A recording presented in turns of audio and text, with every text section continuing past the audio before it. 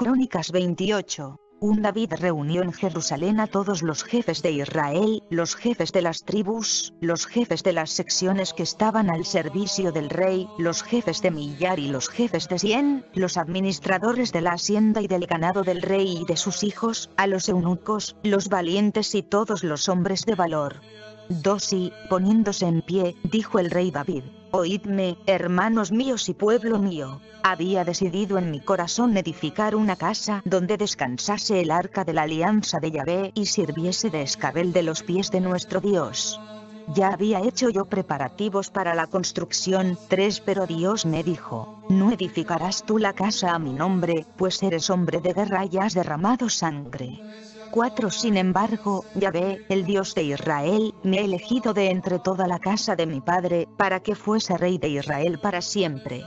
Pues escogió a Judá para ser caudillo, y de las familias de Judá a la casa de mi padre, y de entre los hijos de mi padre se ha complacido en mí para establecer un rey sobre todo Israel. 5 Y entre todos mis hijos, pues Yahvé me ha dado muchos hijos, eligió a mi hijo Salomón para que se siente en el trono del reino de Yahvé sobre Israel. 6 Y él me dijo, tu hijo Salomón edificará mi casa y mis atrios, porque le he escogido a él por hijo mío, y yo seré para él padre. 7 Haré estable su reino para siempre, si se mantiene firme en el cumplimiento de mis mandamientos y de mis normas como lo hace hoy 8 ahora, pues, a los ojos de todo Israel, que es la asamblea de Yahvé, y a oídos de nuestro Dios, guardad y meditad todos los mandamientos de Yahvé vuestro Dios, para que podáis poseer esta tierra espléndida y la dejéis como heredad a vuestros hijos después de vosotros para siempre.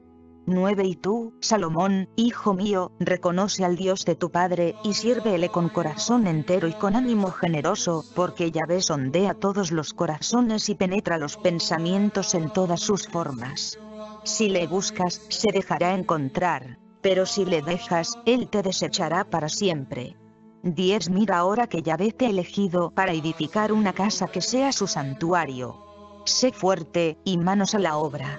11 David dio a su hijo Salomón el diseño del vestíbulo y de los demás edificios, de los almacenes, de las salas altas, de las salas interiores y del lugar del propiciatorio. 12 Y también el diseño de todo lo que tenía en su mente respecto de los atrios de la casa de Yahvé, y de todas las cámaras de alrededor, para los tesoros de la casa de Dios y los tesoros de las cosas sagradas. 13 Asimismo respecto de las clases de los sacerdotes y de los levitas y del ejercicio del servicio de la casa de Yahvé, como también de todos los utensilios del servicio de la casa de Yahvé.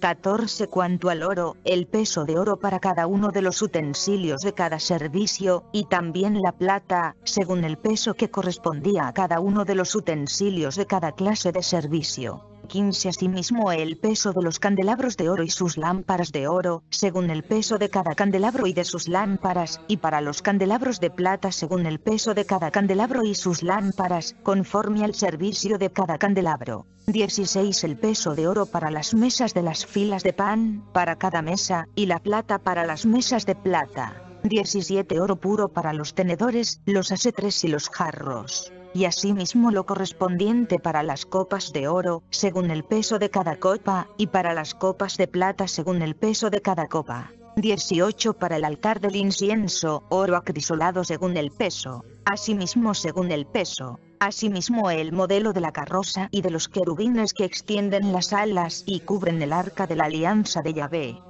19 Todo esto conforme a lo que Yahvé había escrito de su mano para hacer comprender todos los detalles del diseño. 20 Y dijo David a su hijo Salomón, sé fuerte y ten buen ánimo, y manos a la obra. No temas ni desmayes, porque Yahvé Dios, el Dios mío, está contigo. No te dejará ni te desamparará, hasta que acabes toda la obra para el servicio de la casa de Yahvé. 21 Ahí tienes las clases de los sacerdotes y de los levitas para todo el servicio de la casa de Dios. Estarán a tu lado para cada clase de obra, todos los hombres de buena voluntad y hábiles para cualquier clase de servicio. Y los jefes del pueblo entero están a tus órdenes.